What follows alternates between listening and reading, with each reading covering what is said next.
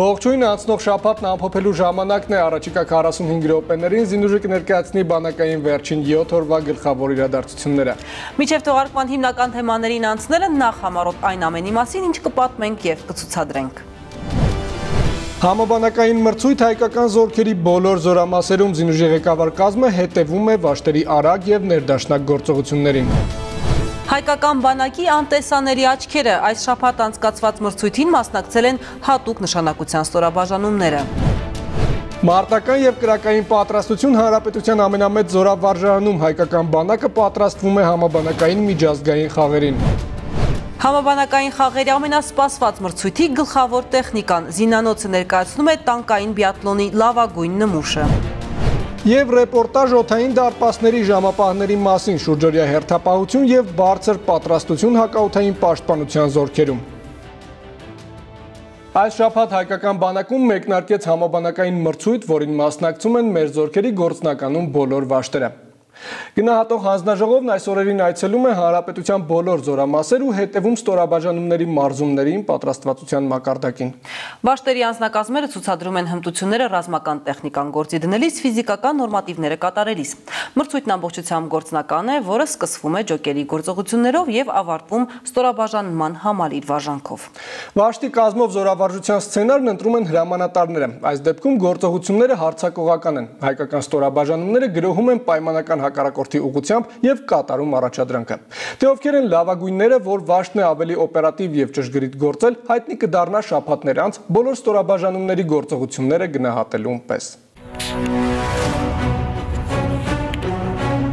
Պայմանական մարտը սկսելու ազդանշանից հետո հետևակի մարտական մեքենայի անձնակազմն անմիջապես գործի է անցնում։ Յուրաքանչյուրը պետք է մի քանի վայրկյանում զբաղեցնի իր տեղն ու զեկուցի։ Պատրաստ է մարտի։ Ժամկետայինների երկաթե զինակիցն ու մարտական այս հսկան վարժանքի գլխավոր օբյեկտն է։ Բոլոր ազնագազմերը մոտենում են նորմատիվը կատարում առաջանցնում։ Մրցույթին պատրաստվել ենք բավականին լավ տրամադրված բարձր որակով, ցուցաբերել ենք բարձր արդյունքներ, գերազանցից ելավել։ Մարտի, նա Ճամբարային հավաքի մյուս մասնակիցները նույնպես մարզվում են, բայց հերվում, դաշտային պայմաններում են կատարում առաջադրանքները։ Զինվորների մարզումներին, գործողություններին վերադասն է հետևում արձանագրում։ Արագությունը ռեկորդային է, արդյունավետությունը շատ բարձր։ Պատրաստ։ Հիմնական շեշտը դրվել է մարտավարության, կրագային եւ ֆիզիկական պատրաստության վրա։ Զինծառայողները կոփում են, պատրաստվում են հակառակորդին առաջին իսկ հրամանի դեպքում ուղիղ նշանառության կրակով ոչնչացնել։ Ֆիզիկական, մասնագիտական ու մարտավարական այս վարժությունները մրցութային են։ Համաբանակային այս մրցաշարին մասնակցում են բոլոր զորամասերն ու վաշտերը։ Գործնական դասերի եզրափակիչ փուլը գլխավոր վարժադաշտում է մարտական հրաձգության վայրում։ Զորավարժության սցենարն այս անգամ նախորդներից տարբերվող է։ Պաշտպանողական, հակահարցակողական չէ, հենց հարցակողական է։ Հայկական ստորաբաժանումները նախահարցակ գործողություններով ոչնչացնում են պայմանական հակառակորդին։ Մոտորացկային վաշտ ուժեղացված է տանկային դասակով, նռնականետային դասակով եւ ականտային դասակով։ Մոտորացկային վաշտը ունի խնդիր խորքից առաջ խաղացմամբ անցնել հարցակման, ջախշախել հակառակորդի առաջնագիծը, գրավել նպաստա շրջանը, հակառակորդի պաշտպանության շրջան եւ հարցակումը շարունակի հակառակորդի պաշտպանության խորքը։ Վաշտի կազմով եւ մարտական կրակի կիրառմամբ զորավարժությանը մասնակցող բոլոր զորատեսակները գործում են ներդաշնակ, լրացնում միմյանց եւ կարճ ժամանակում ապահովում մարտական առաջադրանքի դրական ելքը։ Ինձ թվում է շատ լավ կատարեցինք մեր արժեվ դրված խնդիրները կատարեցինք իմ ՀՄ-ի անձնակազմը միասին շատ լավ գործեց եւ մեր արժեվ դրված բոլոր թիրախները ոչնչացրեցինք։ Զորավարժության ավարտին հայ զինծառայողներն արդեն հակառակորդի տարածքում զբաղեցնում են նպաստավոր բնագծեր, հնարավոր հակագրոհները կանխելու եւ գրանցած հաջողություններն անհրաժեշտության դեպքում բազմապատկելու համար։ Այս դեպքում հիմնական նպատակը թիրախները ճշգրիտ խոցելն է եւ անվտանգությունը։ Յուրաքանչյուր պարապմունքից առաջ հիշեցվում են անվտանգության կանոնները եւ պարապմունքների ընթացքում դրանք հստակ պահպանվում են։ Մոտակա բլերից զորավարժության մասնակիցներին հետևում են բանակի սպաները, հանձնաժողովն արձանագրում է ստորաբաժանումների առաջ խաղացումն ու գնահատում նրանց պատրաստվածությունը։ Նախնական արդյունքը գոհացուցիչ է, տղաները վարպետորեն են գործել։ Ազակազմը ցույց տվեց բարձր մարտական պատրաստություն, դաշտային վարժվածություն, արդյունքները կամփոփենք միջնորդների զեկույցներով, ինչպես նաև ը, հրամանատարական կազմի պա- պատրաստությունը ստուգելուց հետո։ Մրցույթին մասնակցող այս վաշտի առաքելությունն ավարտված է հանձնաժողովի անդամներն այստեղից ուղևորվում են մյուս զորամասեր, մյուս ստորաբաժանումների պատրաստությանը հետևելու գնահատելու։ Համաբանակային այս մրցույթը կավարտվի շաբաթներ անց լավագույններին կխրախուսի զորամասի ու նաև զինված ուժերի հրամկազմը։ Դավիթ Դավթյան, Ֆելիքս Շախտոյան, Զինուշ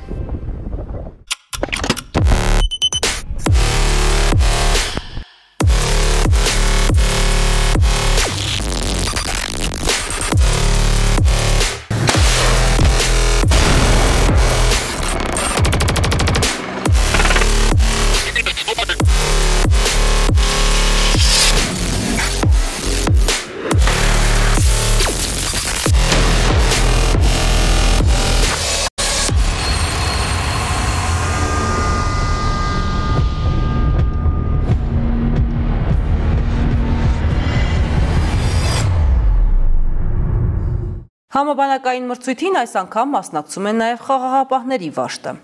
Այս զորամասը եւս հրամանատարների ներկայությամբ կատարում է գործնական վարժանքներ, հաղթահարում արգելագոտիներ, ոչնչացնում թիրախները։ Ի տարբերություն մյուս զորամասերի խաղապահների զորավարժանքն անցկացվում է ժամանակակից տեխնիկական լուծումներով ուսումնամարտական համակարգերի ներդրմամբ։ Նրանց պայմանական մարտն իրականին շատ մոտ է։ Դաշտային պայմաններում փոխհրաձգությունից մինչև հակառակորդի վերջին զինվորի վնասազերծում եւ թիրախների ոչնչացում։ Խաղաղապահների համար մայլս համակարգը նորություն չէ, նրանք այդ միջոցներով են մարզվում, պատրաստվում, մեկնում առաքելությունների, հետևաբար արդյունքը չի կարող գերազանց չլինել։ Վարժանքների մրցութային ցուցադրությանը հետևել է մեր գործընկեր Հովանես Պարաշյանը։ Կրակոցի ուղությունը եւ խոցումը որսացող ձայնային ազդանշանն է։ Զենքի գլխադիրը,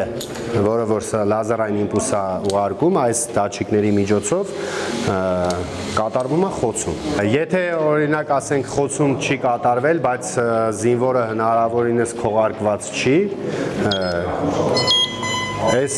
այս ազդանշանն է ուղարկվում Սա ժամանակակից մայլս համակարգի կարևոր բաղադրիչներից է։ Հատուկ ընդունիչների կիրառումը թույլ է տալիս զորավարժության ժամանակ արագ parzել։ Թիրախը խոցված է, թե գտնվում է հրետակոծության տակ։ 1972 թվականին առաջի անգամ այլսը կիրառվել է արդեն բանակում, ներկապային լայն տարածում ունի ՆԱՏՕ-ի անդամ պետություններում։ Հայաստանում ունենք զառուսումնական կենտրոնում լրակազմ, որը որ նախատեսված է իրական մարտի պայմաններին հնարավորինս մոտեցված իրականացնել զորավարժություն։ Նորարարական միջոցներով պայմանական մարտական գործողությունները սկսելուց առաջ զառուսումնական կենտրոնում նախ շարային ստուգատես է։ Հիմնականում ստուգում է անձնակազմի հիգիենայի պարագաները, իրենց դաշտային համազգեստը, ջրամանները, ուսապարկերը, հատուկ հանդերձանքը, Զինծառայողների արտաքին տեսքը, փաստաթղթերը, զինվորական ուսապարկերի պարունակությունը վաշտի հրամանատարն անձամբ է ստուգում։ Ապա մրցութային հանձնաժողովի անդամներն են անձնակազմին հարցեր տալիս, գնահատում յուրաքանչյուրի գիտելիքներն ու հմտությունները։ Անձնակազմի մոտ նկատվում է բարձր տրամադրվածություն, բարձր ցուցանիշներ ցույց տալու համար։ Բոլորը պետք է անեն մաքսիմալ արագությամբ։ Լավագույն մարտավարական վաշտ համաբանակային մրցույթի հաջորդ փուլը նորմատիվների հանձնումն է։ Այստեղ գլխավորը ջոկերի կազմով արագ եւ ներդաշնակ գործելն է, փոքր ուժերով մեծ խնդիրներ կատարելը։ Իրական մարտական գործողությունների ժամանակ նմանակում ենք, որ հակառակորդի հրետանային գնդակոծման ժամանակ անձնակազմը ինչպես է տեղավորվել իր հակստոցում եւ զերծ մնա հակառակորդի հրետանային գնդակոծությունից։ Ուսումնական հաջորդ կետն է նոր խնդիրների առաջադրմամբ մարտավարական նորմացույցների կատարմանը ստուգող հանձնաժողովն է հետևում հրամանատարական կազմի հետ քննարկում եւ գրանցում արդյունքները։ Համար 10 մարտավարական նորմացույցի կատարում են իրականացնում 15 մետր վազեվազքով, 10 մետր սողեսով, այնուհետև 15 մետր վազեվազքով։ Նպատակն է մարտի դաշտում ազնագազմի տեղաշարժը ծածուկ տեղանքում, հակառակորդի տեսանելիության դաշտից հեռու։ Եվ վերջում զորավարժության փուլն է մայլս համակարգի կիրառմամբ առանց մարտական հրաձգության։ Այսօրվա մեր թեման մենք ընտրել ենք գրոային խմբերի գործողությունը։ Հակառակորդի թիկունքում հակառակորդի հրամանատարական կետի ոչնչացումը, գրավումը եւ շարքից դուրս հանելը։ Հարցակողական գործողություններով հրաձգային վաշտի գրոհային խմբերը ոչնչացնում են հակառակորդի ուղաթիռներից հատկահրապարակը, հրամանատարական դիտակետերը կապի հանգույցը։ Պայմանական թշնամու գրոհը կասեցված է։ Ազնագազմը մարտի դաշտում գործեց հստակ, մարտավարական բոլոր էլեմենտները պահպանելով։ Հակառակորդի կարևորագույն օբյեկտների ոչնչացումը իրականացրեցին հրաձգային զենքերի միջոցով, դիմահար կրակով, պայթյունային միջոցներով եւ նռնակների նետումով։ Լավագույն մարտավարական վաշտ համաբանակային մրցույթի եզրափակիչ փուլն ավարտված է։ Խաղաղապահ ստորաբաժանման գործողությունների նախնական արդյունքները հայտնի են ու դրական։ Վերջնական գնահատականը կտրվի ավելի ուշ մրցույթի մյուս մասնակից վաշտերի արդյունքների հետ համադրելով զինված ուժերի լավագույն վաշտ անվանակարգի հաղթողին որոշելու համար։ Հովանես Պարաշյան, Արամ Սիմոնյան, Զինուշ Այս օրերին մրցույթներն ու ստուգումները մեր բանակում հաջորդում են միմյանց։ Արիթը ուսումնական փուլի ավարտն է, հետևաբար մեկամյա ուսումնառության ու փորձն ամփոփելու ժամանակը։ Զորատեսակների հրամանատարները բարձրաստիճան սպաներն այցելում են զորամասեր ու ստուգում զորքերի պատրաստության ու մարտունակության աստիճանը։ Օրեր առաջ իրենց կարողությունները մրցույթի միջոցով ցուցադրել են նաև հատուկ նշանակության ստորաբաժանումները։ Նրանց առաքելությունը մյուսներից տարբերվում է, հետևաբար պատրաստությունը նույնպես սովորական պայմաններում չէ, բարձր լեռնային գոտիներում է, բարդ արգելքների հաղթահարմամբ եւ համազորային կրակով։ Հատուկ նշանակության զորքերի ու հատկապես հետախույզների մասին հնարավոր չէ խոսել բոլոր մանրամասներով, բոլորին ներկայացնելով։ Ծառայությունն այդպեսին եւ անվտանգությունն է պահանջում։ Նրանք գործում են լուր, առանց աչքի ընկնելու, հազվադեպ հայտնվելով տեսախցիկների առաջ։ Սա այն բացառիկ դեպքերից է, որի մասին կպատմեն մեր գործընկերները։ Ինքնորոն կրա Հենց այսպես միմյանց հետ մրցակցելով ու անբրեպ խոսելով պայմանական թիրախները հատուկ նշանակության զորքերի մարտիկները 10 նոր մրցում էին հետախուզության լավագույն խմբի պատվին արժանանալու համար։ Միանշանակ առաջի տեղի համար ենք եկել, լավ էլ արդյունքներ ունենք։ Բոլորներ պայքարում են առաջի տեղի համար, բայց պետք է ընտրվի մեկը լավագույնը։ Յուրաքանչյուր նման մրցություն ակամայից հարստացնում է մասնակից անձնակազմի փորձառությունը, խթանում խմբերի միջև ներքին մրցակցության ոգին, ստիպում ուժերի գերլարմամբ ու պատվախնդրորեն ներկայացնելու նախորդ մրցույթից մինչ օրս անցկացված պարապմունքների իրական արդյունքը։ Ամեն օր պարապել ենք եւ պատրաստենք մրցմանը լավագույն արդյունքներով հանդես գալու։ Շատ դժվար փորձություններ է, եթե զբաղված չլինենք, հաստատ չենք կարա նման գործողությունների կամ նման հատուկ ֆիզիկական պատրաստություն անցնելու։ Բոլոր վարժությունները առանց բացառության խումբը իրականացնում է միասին։ Միասին են հաղթահարում ականապատ տարածքն ու արկելագոտին, կատարում պայթեցումը, նախանշված հասկման կետերում գրանցվելով աննկատ հաղթարում 30 կիլոմետր երթուղին։ Անհրաժեշտության դեպքում հակառակորդի թիկունքում մեկ ընդհանուր բռնցքով մարտական խնդիր իրականացնող հետախուզական խմբերի անդամները ընդգծում են։ Իրենց գործում կարևորը թիմային աշխատանքն է ու անվերապահ վստահությունը մեկը մյուսի հանդեպ։ Յուրաքանչյուր դժվար արկելագոտի հաղթահարելու համար այդ ամենադաժե ամենաթույլ մասնակիցը դու իրանից չէիր սպասում, որ ինքը էդի կաներ, բայց ինքը էդի անում է, որովհետև այդ թիմ հասկացողությունը իր մեջ շատ մեծ ուժ է ներգրում։ Այս օրերին ուսումնական կենտրոնում հատուկ պատրաստություն են անցնում միջազգային համաբանակային խաղերի զորային հետախուզության գերեզանցիկ մրցույթին նախապատրաստվող հայկական հավաքականի անդամները։ Հնդկաստանում կայանալիք եղանակավոր մրցմանը մեր երկիրն ու բանակը ներկայացնել պատրաստվող տղաները շեշտում են։ Այդ կարևորագույն մրցաշարում լավագույնս հանդես գալը իրենց համար պատվի հարց է։ Մի մարդու պես խոսք են տվել, որ բարձր ցուցանիշներ են ցուցաբերելու ու Հայաստանի Հանրապետության դրոշը ծածանվելու է որպես լավագույն ստորաբաժանում։ Հետախույզներին ողջույն։ Նախորդին կայացավ համաբանակային մրցման ընթացքում գերազանց արդյունքներ ցուցաբերած հետախուզական ստորաբաժանումների ապարքեվատրումը։ Լավագույն հետախուզական խումբ 2019 մրցույթի գավաթն ու պատվոգրերը հանձնեց զինված ուժերի գլխավոր շտաբի հետախուզության վարչության պետ գեներալ-մայոր Արաքել Մարտիկյանը։ Դիմելով զինանձնակազմին վարչության պետը նկատեց, որ նման մրցույթները յուրօրինակ նշաձող են, որի ընթացքում ստուգվում է հետախուզության խմբերի տարեստարի կատարելագործվող մարտական պատրաստությունը։ Գեներալ Մարտիկյանը նաև ընդգծեց, որ բոլոր հետախուզական ստորաբաժանումները ունեն մեկ ընդհանուր եւ կարևորագույն առաքելություն, այն է ցանկացած պարագայում կատարել մարտական խնդիրը։ Հետևաբար ցանկացած մրցումով մենք նախապատրաստում ենք մեր հետախուզական ստորաբաժանումները զորամասեր իրենց արժեդրված խնդիրները լուծելուն։ Ինչ որում է հետախուզական ստորաբաժանումներն առանց ավելորդ պերճախոսության կարող եմ ասել, որ պետախուզական ստորաբաժանումները պատրաստ են իրենց արժու դրված խնդիրները կատարելու։ Ներսես Սիվանյան, Արամ Սիմոնյան, Անդրանիկ Արտենյան, Զինուժ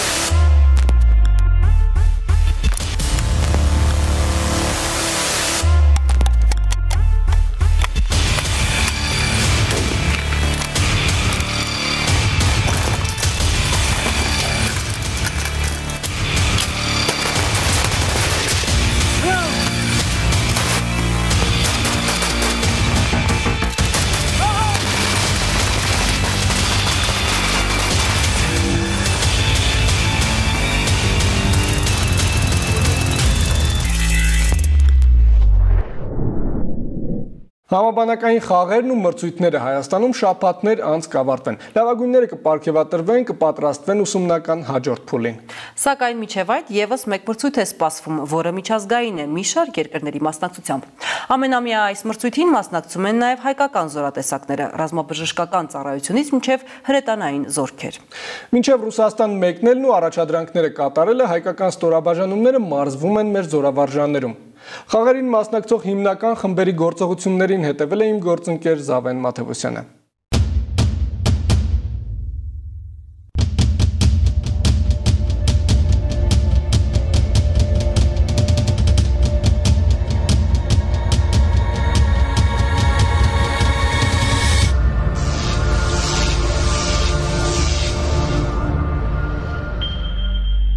Այս տարի 5-րդ միջազգային բանակային խաղերի շրջանակում հայկական թիմերը կմասնակցեն Ռուսաստանի տարբեր քաղաքներում եւ աշխարհի մի քանի երկրներում անցկացվելիք մրցաձևերին, որոնց ընթացքում լավագույն արդյունքներ ցուցաբերելու համար հայ զինծառայողները սկսել են մարզվել դեռ տարեսկզբից։ Մենք արդեն պարապում ենք, կարելի ասել 4 ամիս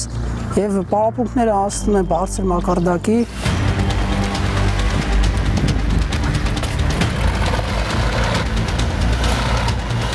Բաղրամյան զորավարժարանում մարզվող խմբերից տանկային բիատլոնի թիմն արդեն մոտ է պատրաստության այն ցուցանիշին, որը կարող է հայ տանկիստերին մրցանակային տեղ ապահովել։ Անցած տարի գերագույն արդյունք ցույց տվեցին նշանառու օպերատորները 100% անսխոցում։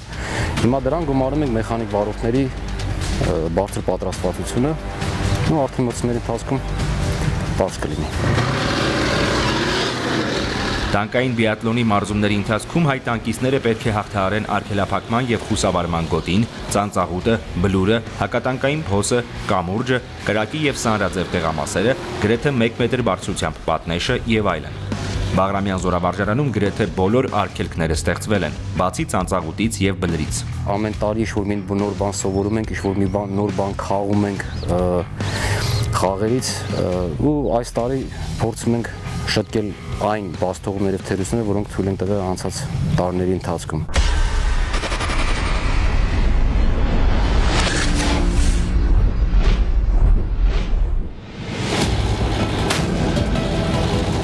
Տանկային թիմի անդամներից շատերն առաջին անգամ են մասնակցելու միջազգային հեղինակավոր ստուգատեսին։ Անկամ իրենց տանկիստի կարիերայի ընթացքում հազվադեպ են հանդիպել արգելքների, որոնք արկա են տանկային բիատլոնի երթուղում։ Տանկի հրամանատար Ստեփան Պողոսյանն առաջին անգամ Ալաբինո մեկնողների թվում է։ Այստեղ նրա համար նոր խնդիրներ իհարկե կան։ Իմ պրակտիկայի ընթացքում կարելի ասել բոլորն նոր են եւ այստեղ լրիվ ուրիշ կարգի է կատարում պարապմունքները։ Մեքենավարման բարդ տեղամասերից բացի տանկիստները կրակային որոշ խնդիրներ պետք է լուծեն։ Մասնակիցները հայտնվող թիրախների ուղությամբ եւ հաշված վայրկյանների ընթացքում պետք է կրակ վարեն 7.62 մմ զուգակցված PKT մագնիշի գնդացրից, 12.7 մմ զենիթային գնդացրից եւ 125 մմ հարթափող հրանոթից։ Որպես նշանառու օպերատոր Իմ խնդիրը նա է, որ գտնեմ թիրախները եւ ոչ չհասնեմ։ Հայկական թիմերի մարզումներին հետևելու համար Բաղրամյան զորավարժարանում էին մարտական պատրաստության վարչության պետ զինված ուժերի գլխավոր շտաբի պետի տեղակալ գեներալ-մայոր Անդրանիկ Մակարյանը, տանկային բիատլոնի հայկական մասնաճյուղի ղեկավար գեներալ լեյտենանտ Մուրաս Սարգսյանը եւ հայկական պատվիրակության ղեկավար գնդապետ Սասուն Բադասյանը։ Այս պահեդրությամբ կա համապատասխան հաջողություններ, որ เป զի մենք կարողանանք ցույց տանք այն հնարավորությունը եւ այն անունը, որը արժանի միայն հայկական զինված ուժերին։ Դրա համար մենք պատահական չենք գտել այս տարի մի քանի 10-ից ավելի մրցույթի մասնակցելու համար այդ որոշումը։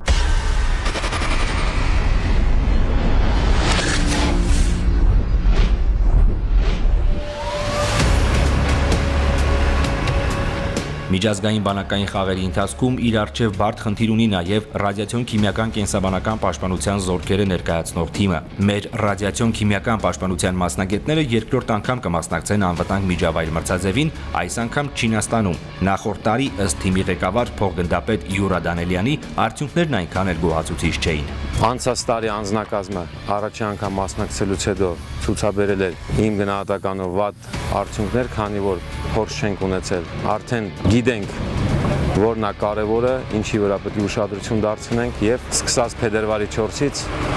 նախապատրաստում ենք մրցումների։ Այսքանով մարզումները չավարտվեցին։ Քիչ քան 2 ամիս է մնացել 5-րդ բանակային խաղերի մեկնարկին։ Աշխատելու, մարզվելու, արդյունքները բարելավելու ժամանակ կա։ Արժանի ձևով կներկայանանք Ռուսաստանում եւ այլ երկրներում կայանալիք համաբանակային խաղի 2019 կարագույն միջոցառման։ Շարքայինից մինչև գեներալ վստահ են, որ 2019-ի օգոստոսին հայկական թիմերը հայրենիք կվերադառնան մրցանակներով ու հայկական բանակը միջազգային հարթակում բարձր մակարդակով ներկայացրած։ Զավեն Մաթեոսյան, Անդրանիկ Արթենյան, Զինուշ։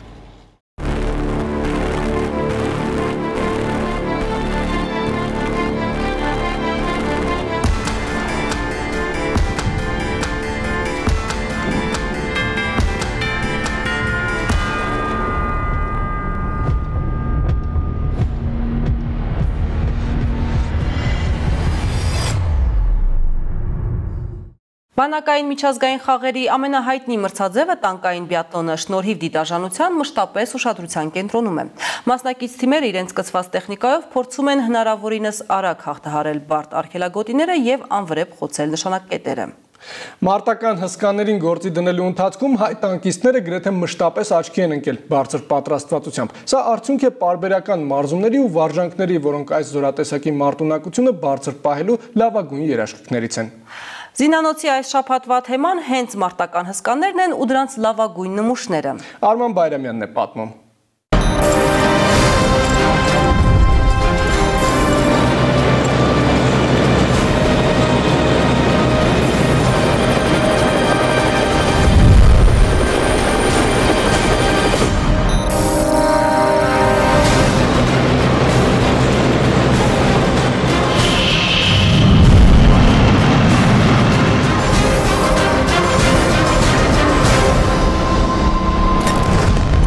Կռվի մեջ ամենաուժգու հարվածը հակառակորդին հասցվում է բռունցքով, այլ ոչ թե բացապով։ Բանակի գեներալ եւ ստրատեգ Հանս Գուդերյանի այս արտահայտությունը շատ լավ է բնորոշում գերմանական ռազմական մեքենայի ամենազոր ստորաբաժանումներից մեկի՝ հրատանկային ուժերի հիմնական մարտավարությունը։ Ամենևին էլ պատահական չէ, որ հանրայիտ Բլիցկրիգի մարտավարության հիմքում եւ առաջին գծում հենց զրատանկային ստորաբաժանումներն էին։ Նրանց էր հատկացված ամենակարևոր եւ վճռորոշ դերը կայծակնային ռազմական գործողություններում։ Արագ հարվածներ հասցնելով հակառակորդի պաշտպանության թևերում, տանկերը մեքենայացված ստորաբաժանումների հետ միասին առանց կանգ առնելու կատարում էին խորը շրջանցում, կտրելով եւ շրջափակման մեջ վերցնելով ճշնամու պաշտպանող ստորաբաժանումները, ինչը հակառակորդին թույլ չէր տալիս արագ պաշտպանություն կազմակերպել։ Այս կերպ մանևրող պատերազմ վարելու միջոցով առաջխաղացում ապահովելով պատերազմի այս կամ այն ճակատում։ Տանկերը ընդհանրապես ստեղծվել են խորը խրամատավորված ինժեներական արգելափակոսներով հագեցած պաշտպանական բնակաձերը ճեղքելու համար, որը ոչ մի կերպ չէր հաջողվում։ Առաջնահերթ տանկերը ինքնուրույն չէին կարող դանել, իրանք տիպը համագործակցված աշխատեին, ներդաշնակված լինեին այլ զորատեսակների հետ, մասնավորապես հետևակի, հրետանու եւ այլ։ Եվ այդ հիմքով նաև կառուցվեց Blitzkrieg տեսությունը, կայացակնային պատերազմի տեսությունը գերմանական, որը ըստ էության մինչև համաշխարհային երկրորդ համաշխարհային պատերազմի կեսերը ժամացույցի պես աշխատել է։ Արդեն այդ ժամանակ ամբողջ աշխարհում տանկային ստորաբաժանումներում արկա էր հստակ բաժանում, եւ ըստ դրա յուրաքանչյուր զրահմեքենա ուներ իր խնդիրն ու առաջադրանքը։ Այդպես օրինակ ծանր տանկային միավորները գտնվում էին հարցակման աղեղի առաջնագծում, եւ հենց նրանք էին կազմում հարվածող բրոնզկի կորիզը։ Դեռ մինչև երկրորդ համաշխարհային պատերազմը հստակ դասակարգում կար արդեն ծանր միջին եւ թեթև տանկերի հետագայում երկրորդ համաշխարհային պատերազմից հետո այդ բաժանում այդպես էլ մնում էր ըստ էության մինչև 60-ականները, երբ ծանր տանկերը մերժվեցին։ Եվ ըստ էության թեթև տանկերն էլ մերժվեցին, հայտնվեց ընդհանրապես հիմնական տանկ հասկացությունը, որը որ ըստ էության միջին տանկերն էին։ Երկրորդ աշխարհամարտում զրահտանկային ուժերը մեծ առաջընթաց ապրեցին, մշակվեցին ստորաբաժանումների կիրառման նոր մարտավարություններ եւ արդիականացվեցին ու ստեղծվեցին նոր մեքենաներ։ Սակայն որոշ ժամանակ անց ամբողջ աշխարհը կանեց զրահտանկային ուժերի զարգացման նոր խնդրի առջև։ Հակատանկային միջոցների զարգացման հետ զուգահեռ նվազում էր տանկային ստորաբաժանումների կյանքի միջին տևողությունը արտերազմական գործողությունների ընթացքում երկաթե ամրությունից, որը անխոչնդոտ ճեղքում էր հակառակորդի պաշտպանական բնակեցերը։ Տանկերը վերածվեցին կարճատև եւ կասկածելի առաջխաղացում ապահովող միջոցի, քանի որ հակառակորդի հակատանկային սպառազինության լավ հագեցվածության դեպքում մի քանի կրակոցից ավելի չէին էլ հասցնում կատարել։ Կամած կամած այդ միջին տանկերը եւս սկսեցին քաշ հավաքել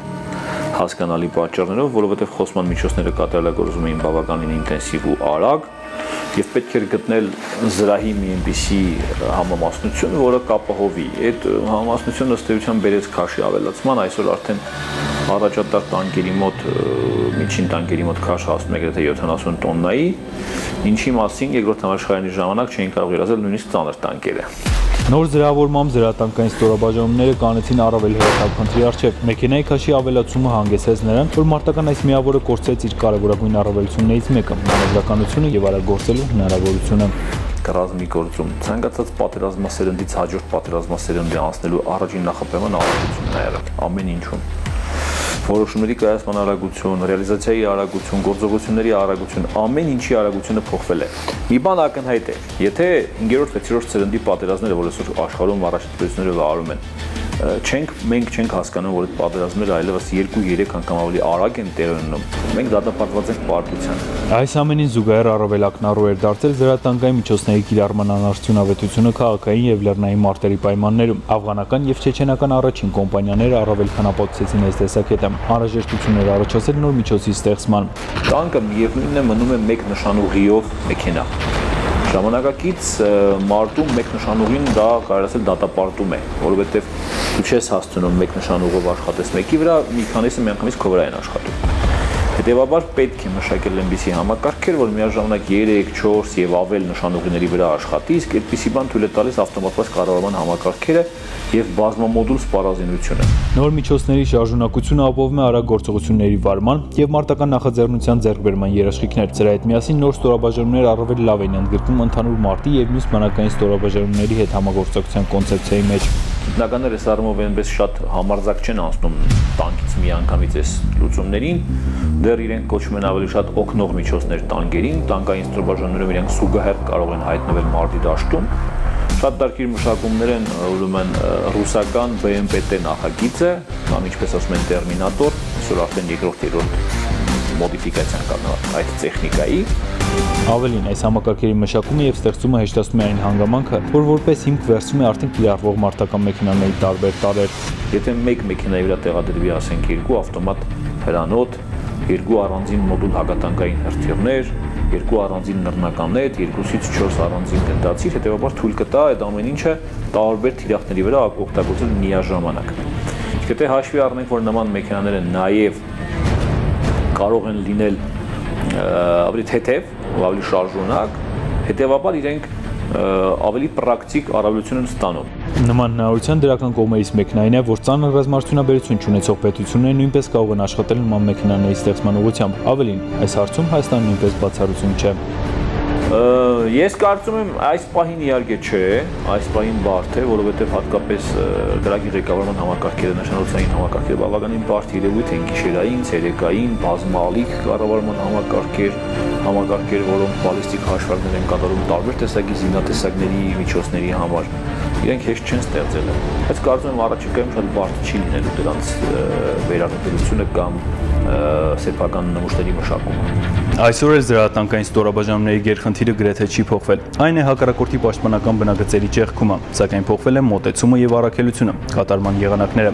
Նախկինում կիրառվող կոպիտ ուժն այժմ օրորի իր տեղը զիջում է մանևրելու կարողությանը եւ մոդուլայնությանը, արագ ադապտացում, ունիվերսալություն եւ իհարկե ամբողջ ռազմադաշտի ունեցալ կառավարում։ Ահա մեր օրյա ռազմական գործի գլխավոր բաղադրիչները եւ ինչպես ասում էր նույն ինքը Գուդերյանը, նոր սպառազինությունը պահանջում է նոր մարտավարություն, մնացեք խաղաղությամբ։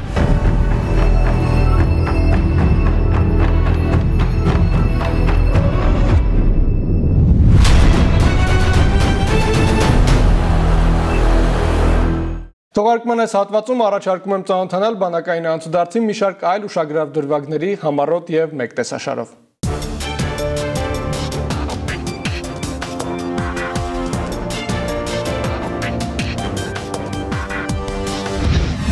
Հայաստանում գործող դիվանագիտական ներկայացուցչությունների ռազմական կցորդները երրորդ բանակային զորամիավորումում հետևել են մարտական հրաձգությամբ գումարտակային ցուցադրական զորավարժությանը։ Օտարերկրացի զինվորականներին ներկայացվել են նաև մանրամասներ բանակային զորամիավորման կառուցվածքի եւ առաքելության վերաբերյալ։ Սիրիայի ժողովրդին մարդասիրական օժանդակություն ցուցաբերելու նպատակով հումանիտար ականազերծողներից, բժիշկներից եւ նրանց անվտանգությունն ապահովող հայ մասնագետներից բաղկացած երկրորդ խումբն է մեկնել Հալեբ։ Հայ մասնագետները Սիրիայում ծավալելու են հումանիտար ականազերծման, բնակչության հակաականային իրազեկման, բժշկական ծառայությունների մատուցման մարդասիրական գործունեություն։ Երկկողմ ռազմատեխնիկական համագործակցության պայմանագրային իրավական բազայի զարգացման հարցերն էին հայ-ռուսական ռազմատեխնիկական համագործակցության միջկառավարական հանձնաժողովի 14-րդ նիստի օրակարգում։ Պաշտպանության նախարարության վարչական համալիրում կայացած հանդիպմանը քննարկվել են նաև նախորդ նիստին ընդունված որոշումների կատարման հարցեր, ստորագրվել են փաստաթղթեր։ Պաշտպանության նախարար Դավիթ Տոնոյանը նախորդին հյուրընկալել է ամերիկյան Ատլանտյան խորհրդի պատվավոր նախագահ պաշտոնաթող գեներալ Ջեյմս Ջոնսին։ Պաշտպանական գերատեսչության ղեկավարը Ջեյմս Ջոնսին ներկայացրել է տարածաշրջանում անվտանգային իրավիճակը, հայ-ադրբեջանական պետական սահմանին եւ Արցախա-ադրբեջանական ուժերի շփման գծում տիրող դրությունը։ Անդրադարձ է եղել պաշտպանության ոլորտում հայ-ամերիկյան համագործակցությանը։ Նվագախմբերի համատեղ համերգ ազատության հրապարակում այս շաբաթ Միացյալ Թագավորության Պաշտպանության նախարարության Սալամանկա նվագախումբը եւ բրիտանական բանակի շեփորահարները Պաշտպանության նախարարության զինվորական նվագախմբի հետ համատեղ բացօթյա համերգ ունեցան։ Համատեղ համերգը Երևանում անցկացվում է արդեն 4-րդ անգամ։ Եվ վերջում այսօր անցկացված համապետական շաբաթօրյակի մասին. Վաղ առավոտյան սկսված բարեկարգման աշխատանքներին միացել են նաև զինծառայողները։ Ժամկետայիններն ու կուրսանտները մասնակցել են Եռաբլուր զինվորական պանթեոնի, Մեծ Եղեռնի հուշահամալիրի եւ Մայրաքաղաքի մի շարք պուրակների բարեկարգմանը։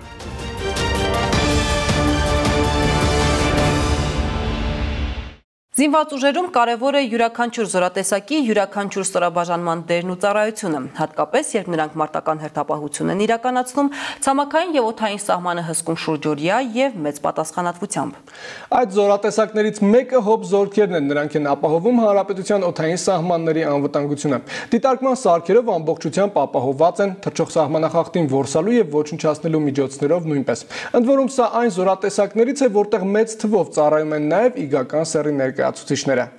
Զինուժի մեր գործընկերներն այս շաբաթ այցելել են Հանրապետության հակաօթային պաշտպանության զորամասեր, հետևել մարտական հերթապահության ընթացքին, զրուցել անձնակազմի հետ։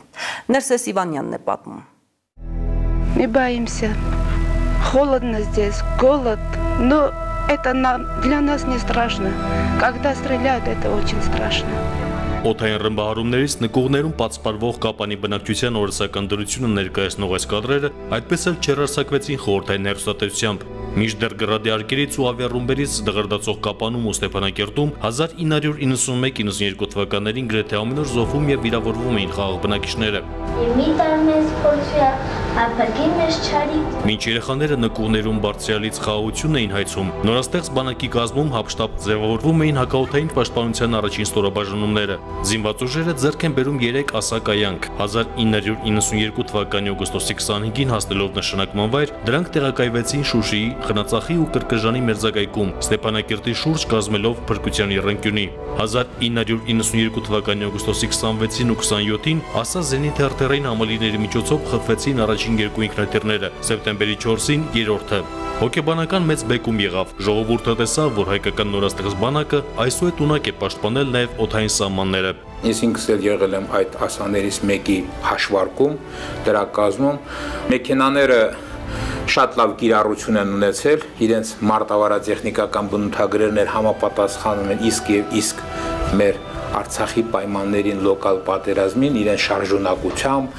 արագաշարժությամբ 1994 թվականի մայիսի 5-ին Հայաստանը, Ադրբեջանը եւ Լեռնային Ղարաբաղը Բիշկեկում ստորագրեցին զինադատարի համաձայնագիրը։ Դրանով դադարեցին պատերազմական գործողությունները, ժամանակներ ողջ ուժերը ներդնել, կազմավորելու եւ ամրապնդելու նորաստեղծ հայկական բանակի զորատեսակները։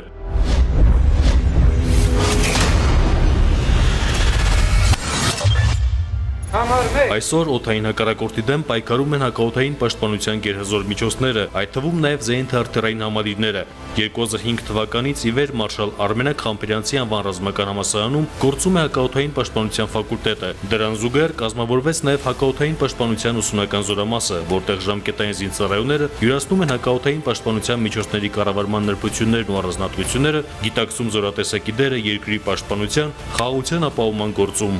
Հակաօթային պաշտպանությունը հաղորդակցությունը այսօր շատ կարևոր է Հայաստանի սահմանների համար ու ես շատ ուրախ եմ, որ ընկել եմ հենց այս սորամասը, հենց այս մասնագիտության վրա եմ։ Ճիշտ է, մեր բոլոր զինվորների դերն է շատ մեծ են բանակում, սակայն հոպի զինվորի դերը ավելի մեծ է բանակում, քանի որ հոպ հոպ զինվորի վրա ավելի մեծ խնդիր է դրված եւ ես դրանում ուրախ եմ, որ իմ վրա ավելի մեծ խնդիր է դրված։ Ուսումնական զորամասում հիմնական շեշտը դրվում է մարտավարամասնագիտական, կրակային եւ տեխնիկական պատրաստության վրա։ Արդյունքում ուսումնական կիսամյակի ավարտին նախորոշված զորամասեր մեկնող կուրսանտները ձեռք են բերում կցագրված զինտեխնիկան հմուտ կառավարելու եւ օթային սահմանը վստահաբար պաշտպանելու համար անհրաժեշտ գիտելիքներն ու փորձառությունը։ Նշանակետը խոցված է։ Անընդհատ անցկացրել ենք հանկարծակի ստուգումներ, ընդունել ենք ստուգարքներ, քննություններ, ոչ միայն պլանով, այլ նաև արտապլանային, որպիսի անընդհատ հսկողության տակ լինի եւ որպիսի որակը ավելի ճիշտ ու նպատակային լինի, որակը ավելի բարձրացնենք։ Ես այդքանով վստահ եմ եւ իմ խիղճը հանգիստ է, որ այո, մենք կարող ենք կատարել մեր արժեվ դրված խնդիրը ճիշտ եւ ժամանակին ու նպատակին։ Եկողամիս այս տղաները կանձնեն ավարտական քննություններն ու մարտական ծառայություն կստանձնեն նախորոշված զորամասերում, սակայն այսօր արդեն նրանք առանց երկմտանքի վստահեցնում են, քաջածանոթ են տեխնիկային, պատրաստ են այսօր իսկ ստանձնելու հայրենիքի օթային սահմանների պաշտպանությունը։ Մենք պետք է պահենք մեր սահմանները ու հաստատ վստահ եմ ու մասնագիտացված եմ, որ հաստատ այնպես է լինելու, որ խոցելու ենք հակառակորդի նշանակետը։ Ես մինչև այս զորամաս գալս Իգլայեսի մասին ոչ ոչինչ չգիտեի, իսկ հիմա այս Իգլայեսին նենց եմ տիրապետում, որ ցանկացած հակառակորդից եկող ինքնաթիռ, ուղաթիռ յուրաքանչյուր պայմաններում եթե հասանելի է Իգլայեսին, կարող են ոչնչացնել։ Հովանես Պողոսյանը զգուշությամբ դարակից հանում եւ ցույց է տալիս ապրիլյան քարորիային հակառակորդի ուղաթիռը խոցած իգլա հրթիռի մասերը։ Լավ ծառայություն բերել այդ արդյունքին մենք կատարել ենք մեր խնդիրը։ Միշտ հիշում եմ սա։ Մարտական հերթապահություն գրող զորամասի հակաօթային պաշտպանության նախկին պետը այս մասունքները իր հետ բերել է նոր ծառայավայր, որպես անխոս հիշեցում։ Պատրաստի զինվորը ունակ է վճռելու մարտի ելքը։ Մանուկյանը իր խնդիրը կատարել է գերազանց շատ լավ բարձր մակարդակով նույնիսկ ժամանակի առումով կարող նշեմ, որ ինքը ժամանակում նույնիսկ մի քանի վայրկյան չի թերացել։ Ապրիլյան Կարորիային իր ենթականների հետ հակառակորդին արժանի հակարված տված Զորամասի հակաօթային պաշտպանության պետը այժմ հրամանատարի ուսումնական գծով տեղակալի պաշտոնում պատասխանատվություն է կրում ապագա հակաօթայինների պատրաստության համար։ Ասում է, այս գործում մանրուքներ չկան։ Առաջին իսկ տեսական դասաժամերին հաջորդում են գործնական պարապմունքները, զորային ստաժավորումն ու դաշտային ելքերը փորձից ելնելով հիմնականում ես ուշադրություն դարձնում եմ գործնական պարապմունքների վրա։ Անընդհատ մեջտապես պարապմունքների միջոցով պետքա մեջտապես գիտելիքները թարմացվի, ժամանակները փոխվում են, օրեկան մի մարտավարական ձևափոխվում, պետք է այդ ամեն ինչին զինվորը քաչ գիտակցի տիրապետի։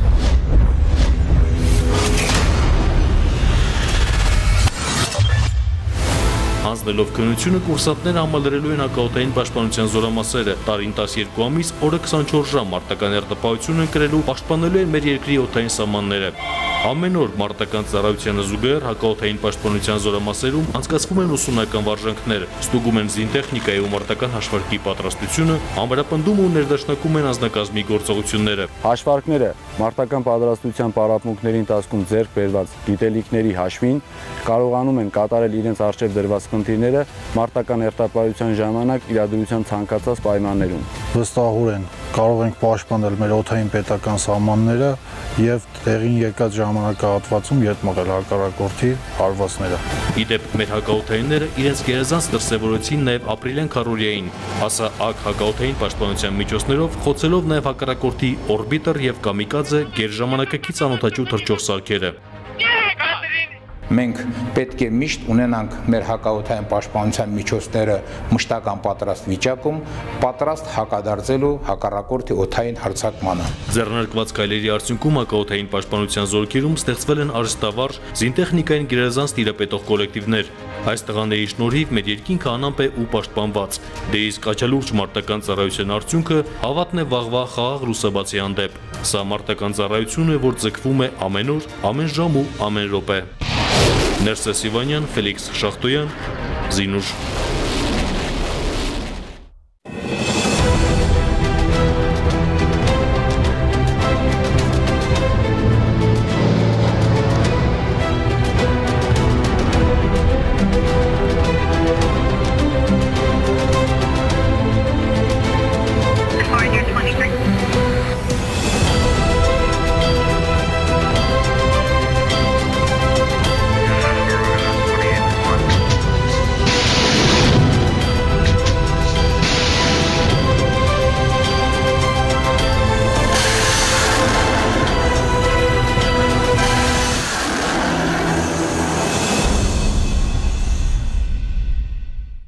Զինված ուժերի առօրյայում մեծ տեղ է զբաղեցնում նաև մշակութային բաղադրիչը։ Բանակում parberabar անցկացվում են մշակութային միջոցառումներ եւ դա բնական է։ Չկա որևէ զորամաս, որտեղ նկարիչ, քանդակագործ, երգիչ կամ պարող չլինի։ Մեր բանակի շնորհալի զինծառայողներն իրենց ծառայությանը զուգահեռ կարողանում են ստեղծագործել parberabar մասնակցելով զինված ուժերում անցկացվող մրցույթներին։ Վերջին օրերին նկարիչ քանդակագործների մրցույթի եզրափակիչ փուլն էր, մինչև այդ լավագույններին ընտրել էին զորամասում, այնուհետև ներկայացրել հանրապետական փուլին։ Ինչ խոսք բազմազբաղ ու հագեցած է զինվորականի առօրյան։ Ժամկետային զինծառայողների օրն էլ սկսվում է վերկացով, շարային ստուգատեսով ու այդպես մինչև երեկո զինվորական կարգ ու կանոն, վարժանքներ, տեսական պարապմունքներ եւ այլն։ Ստեղծագործող զինծառայողների օրը փոքրինչ այլ ռիթմով է ընթանում։ Հանգստի ժամերին հրամանատարության թույլտվությամբ նրանք իրենց սիրելի արվեստով են զբաղվում։ Արմենն ավարտել է Գեղարվեստի ակադեմիան։ Ասում է քանդակագործ զինծառայողի համար դժվար է 2 տարի մասնագիտական որևէ գործով չզբաղվելը։ Տեխնիկապես թուլանում ես, հետո վերականգնվել է Բարթելինում։ Նախընտրած նյութերը կա կավն է, որպես աշխատելու վերջնական տեսքը գիպս, աշխատում եմ տարապես քարի, բրոնզի վրա։ Սպային աշխատում եմ համապանագային մրցման համար, համապանագային քանդակի եւ նկարչության մրցույթ է քանդակս Մաշավ Բաղրամյանն է կլոր քանդակ կոմպոզիցիաս Վանիկն էլ փայտի գեղարվեստական մշակմամբ է զբաղվում։ Ամեն ինչ սկսվել է դեռ վաղ մանկության տարիներին, մանկական խաղերից ու այսօր վերածվել մասնագիտության։ Ավելի ինձ հարմար է փայտի հետ աշխատելը, որովհետև ինչ որ մտածում եմ, փայտի վրա ավելի հեշտ եմ կարողանում ստանալ։ Զորամասում ազատ ժամանակ հատկացնում եմ իմ գործերին, աշխատում եմ ավելի շատ գիտելիքներ ձեռք բերել, հետագայում արդեն ընդունվելուց դրանք կատարելագործել ու շարունակել։ Արմենն էլ նկարչությամբ է հետաքրքրվում։ Աշխատանքը զորամիավորման շրջանակներում մրցույթի է մասնակցելու։ Եթե աչքի ընկնի, ապա կմասնակցի նաև համաբանակային մրցումներին։ Իսկ ստեղծագործող զինվորների միջև համաբանակային մրցումներն ամենամյա բնույթ են կրում։ Տղաները վստահ են, եթե նույնիսկ որևէ մրցանակային տեղ չզբաղեցնեն, զորամասի պատիվն այնուամենայնիվ բարձր կպահեն։ 2006 թվականին ընդունեցի դպրոց, արդեն նկարչության դասերի ընթացքում ուսուցիչն էլ նկատեց, որ սենց լավ էի նկարում։ Ընդունեցին Սիսյանի գեղարվեստի դպրոց, հետո հասկացա, որ պետք է ավելի խորացնեմ ու գործերս տվեցի Գեղարվեստի ակադեմիա։ Հիմնականում նկարում եմ դիմանկարներ, բնանկարներ, Զինծառայողների գեղագիտական մակարդակի բարձրացումն ու նրանց առօրյայում մշակութային անցուդարձի աշխուժացումը մշտապես բանակի վերադաս հրամանատարության ուշադրության կենտրոնում են։ Համաբանակային մրցումները ոչ միայն ստեղծագործող զինվորներին մասնագիտական հմտությունները կատարելագործելու հարթակ են, այլև զորամասերում զինծառայողներին մշակույթի հետ շփման մեջ պահելու հնարավորություն։ Ավարտել եմ Սպիտակի գեղարվեստի դպրոցը 4 տարի, ստացել եմ կարմիր վկայական եւ շարունակել եմ նկարչությունել։ Հատկապես զբաղվում եմ դիմանկարներով, մարդկանց դիմանկարներ։ Կարողանում եմ նկարել երկու ոճով էլ, թե գունավոր, թե անգույն։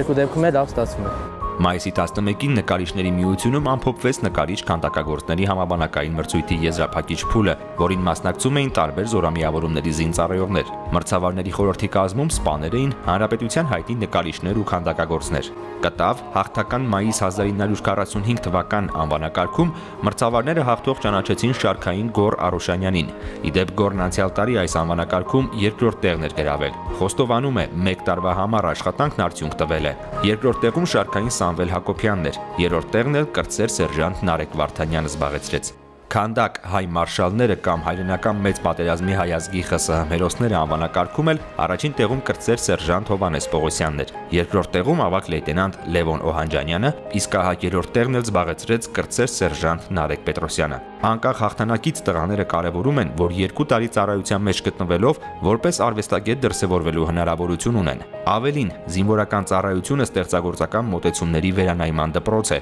ու թարմ գաղափարների, մտահղացումների առաջացման աղբյուր։ Զավեն Մաթևոսյան, Վահե Այվազյան, Զինուժ։ Եթերում Զինուժն է շփատվա ուշագրավ իրադարձություններով։ Շարունակեք հետևել բանակային անցուդարձին, նաև առցանց բաժանորդագրվելով մեր YouTube-յան էջին։ Իդեպ բանակային նորություններին կարող եք հետևել նաև մեր Instagram-ի էջով։ Իսկ մենք զինվորական կարգապահությամբ կհանդիպենք ուղիղ մեկ շաբաթ անց, նույն տեղում, նույն ժամին։ Մնացեք խաղաղությամբ եւ միջև նոր հանդիպում։